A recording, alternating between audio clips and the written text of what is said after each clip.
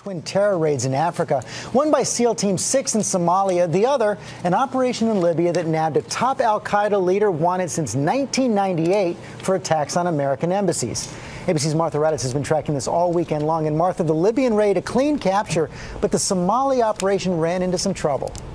Indeed, George, that mission did not go as planned. We do know the name of the al Shabaab leader. His name is Ikrimah, a Kenyan of Somali descent. But this morning, the Al Qaeda leader, Anas al Libi, is being held aboard a U.S. Navy ship in the Mediterranean.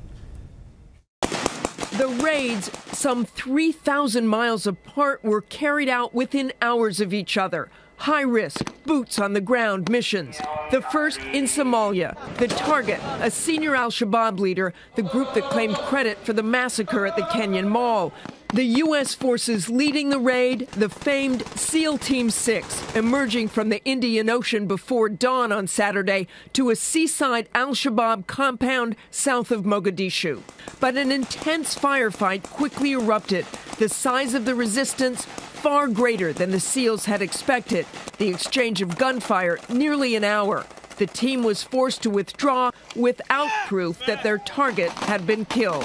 One of the reasons why you use a SEAL team in a situation like this is an on the ground commander who can exercise their judgment about the best course of action. In Libya, a different story. The man the U.S. had been seeking for 15 years for the murders of hundreds at the U.S. embassies in Kenya and Tanzania captured. Al Libi's son and brother in Tripoli telling ABC News that a convoy of cars approached Al Libi's home and vehicle. Commandos jumped out, said the men, smashing his car and grabbed Al Libi. There were no shots fired. I hope the perception is in the world that uh, people who commit acts of terror will know that the United States of America is going to do everything in its power that is legal and appropriate in order to enforce the law and protect our security.